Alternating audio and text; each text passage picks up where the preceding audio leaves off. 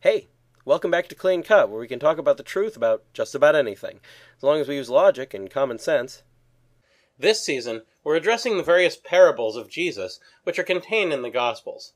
And this week, the parable of the ten virgins, found in the Gospel of Matthew. There's no doubt why only Matthew uses this parable in his Gospel, which was written for the Jews. Let's take a look and see why. Then shall the kingdom of heaven be like to ten virgins, who, taking their lamps, went out to meet the bridegroom and the bride. Matthew 25 1. Virgins are young women who've never had sex before, but understanding why these particular virgins were outside, and why they had lamps and were waiting for a bridegroom, requires knowing about the ancient Jewish marriage customs, which very few Christians nowadays know about. I'll try to cover this topic as fast as possible. In ancient Jewish culture, most marriages were arranged. The two would be betrothed to one another, which basically meant that they actually were married, but they wouldn't live together right away. Instead, there would be a period of time where neither one would be involved with anyone else, sometimes as long as two whole years, though it was usually only about one, during which time the groom would be expected to set a bridal chamber up in the house of his father, and the bride to wear a veil and remain faithful. The bridegroom would go to the bride's house to pick her up when he was done, and announce his arrival with either a horn or a shout. The bride's unmarried friends were expected to be part of the procession back to the bridegroom's house, meaning that both she and they had to have lamps, so the procession could see where they were going.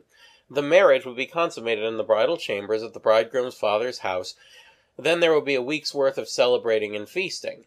There's more involved in the ceremony, but this is as much as we need to know to understand the context of this parable. And five of them were foolish, and five wise. But the five foolish, having taken their lamps, did not take oil with them. Matthew 25, 2 to 3. Oil lamps were very common in the ancient world, especially in places where flammable oil could be produced from the local crops. Israel is one such place, growing olives that contained oil, which could be extracted by crushing the olives to remove the pits, pressing the olive pulp in woven bags or baskets to get the juice out, pouring hot water over them to wash out the remaining oil. Then the olive juice would be left to sit until the oil rose to the top. After that, it was just a matter of scooping off the top layer and putting it in a flask. Voila, olive oil. Olive oil was widely used in lamps of the time period, since it could be burned for a long time without running out, though like candles and light bulbs, it did run out eventually. That's why it was usually best to bring some extra oil if you were going to need to use your lamp for a long time. The fact that five of these virgins didn't bring any extra oil with them does seem to show that they weren't preparing wisely. But the wise took oil in their vessels with the lamps, and the bridegroom tarrying, they all slumbered and slept. Matthew 25, 4 to 5. Everyone has to sleep eventually, and whoever these particular virgins were, they would have had to either light or refill their lamps after waking up. And at midnight there was a cry made, Behold, the bridegroom cometh, go ye forth to meet him. Then all those virgins arose and trimmed their lamps. Matthew 25, 6 to 7. The bridegroom comes at midnight, and the virgins all go to trim their lamps.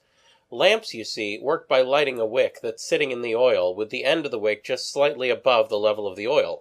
The oil is burned by the fire as the wick shrinks. However, sometimes a wick's tip will be all burned up, and part of it will have to be cut off, so that it can light again. The oil is often refilled when this is done, which is why the foolish virgins suddenly realize they're out of oil. And the foolish said to the wise, Give us of your oil, for our lamps are gone out. The wise answered, saying, Lest perhaps there be not enough for us and for you, go ye rather to them that sell, and buy for yourselves. Matthew 25, 8 9.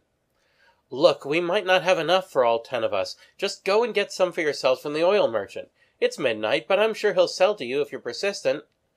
Some people ask why the wise virgins didn't share, but the truth is that sharing isn't always the best choice. They're planning ahead, as they did before, and the night is only half over. If the bridegroom gets sidetracked on his way, their flasks of oil might need to last them the rest of the night.